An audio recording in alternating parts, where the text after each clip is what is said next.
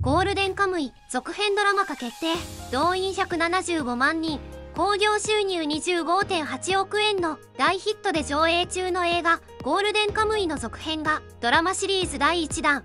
連続ドラマ W「ゴールデンカムイ北海道入れ墨囚人争奪編」として今週ワウワウで放送配信されることが発表されました。ゴールデンカムイは2014年から22年4月まで約8年にわたり週刊ヤングジャンプで連載。実写映画は大ヒットで幕を開けその圧巻のクオリティに早く続編が見たい。シリーズ化希望といった声が相次いでいました。新情報はドラマシリーズ版の誕生だけでなく今後さらなる映画版も構想中であることが明らかになりました。本作は明治末期日露戦争終結直後の北海道を舞台に莫大なアイヌの埋蔵金をめぐる一攫千金ミステリーと厳しい大自然の中で一癖も二癖もある魅力的なキャラクターたちによって繰り広げられるサバイバルバトルアクション。今回はゴールデンカムイの新たな追加キャストについてドラマに出演しているキャストとアニメのキャラクターを比較しながらご紹介いたします。ネタバレも含みますのでご注意ください。キロラン家池内博之。カラフト出身のアイヌアシリカの父。ミルクと一緒にカラフトから北海道に移住してきたためアシリカとは家族ぐるみの付き合い濃いヒゲとカラフトアイヌ独特の髪型がトレードマーク日露戦争帰りの元公兵であり火薬の扱いに長けている第7師団に所属していたが鶴見注意の部隊ではない網走監獄から脱走した入れ墨の囚人のことを知っており本人の意思もあって杉本祭地一派に加わることになるが一方でその言動には不審な点も少なくなく謎の多い人物既婚者であり本人の好みであるぽっちゃり系の妻と2人の子供がいる。インカラマ高橋メアリージュン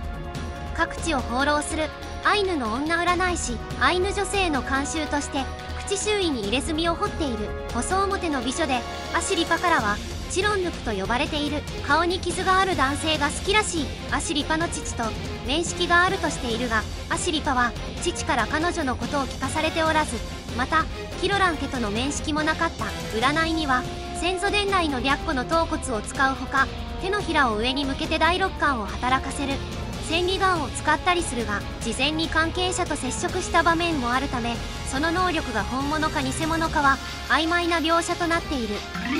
家長かの桜井由紀もともとは外科医で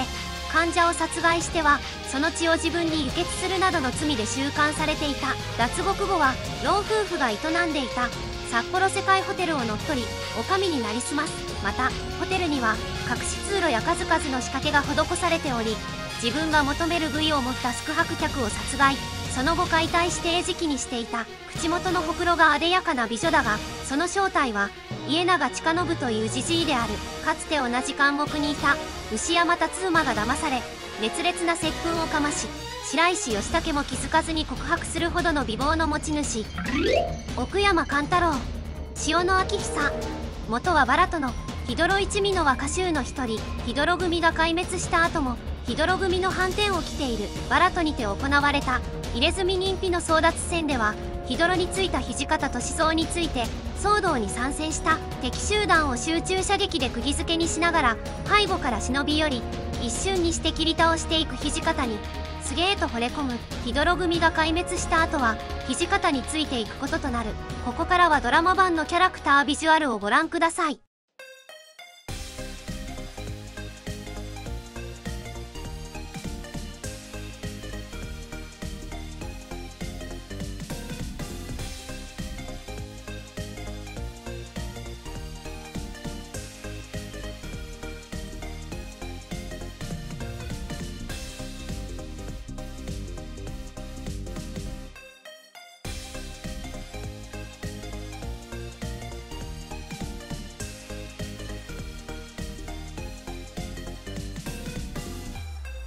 今回はここまで。ぜひチャンネル登録お願いします。またね。